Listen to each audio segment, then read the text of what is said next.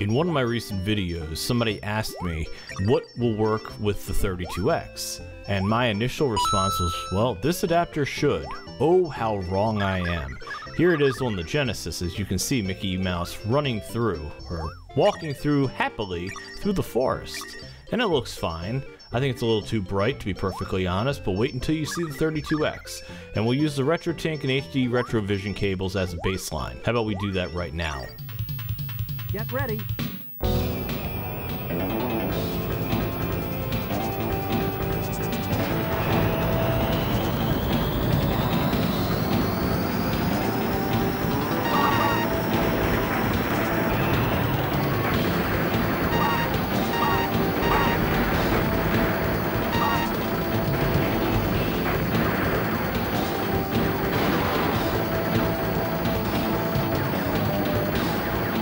Okay, it looks pretty good, right? Let's switch over to Space Harrier, and then we're looking at both of the good games on this console.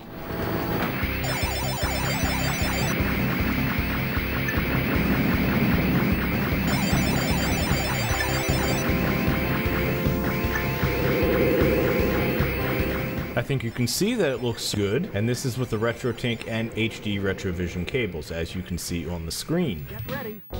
Now you're looking at the Kaico Labs line doubling Sega Genesis slash Saturn slash Neo Geo adapter in motion.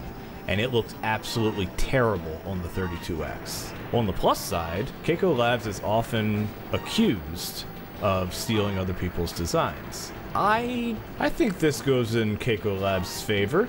Nobody says, you know what, I'm gonna go take that design and F it up and then sells it. So, that being said, I'm not the HDMI police, nor am I going to try to be. I have inquired about that very thing. I've always been assured that they are individual and new designs. And you know what? They send me something I'm going to look at and make a video about it. Anyway, getting back on topic here, you can see this does not look good. So, let's take a look now at Space Harrier because this the colors are all blown out which is common with this type of adapter. I don't think i've ever seen an adapter actually for the sega genesis that makes the 32x look good other than the RetroTink and hd retrovision cables. Also the ossc looks solid too. But again you're using hd retrovision cables to make that happen. Just to be clear it does look fine even when it's connected to a 32X on the Sega Genesis. This one looks absolutely serviceable, and if this is what you're looking for, by all means go for it. Anyway, let me know what you think in the comments below, and have a good day!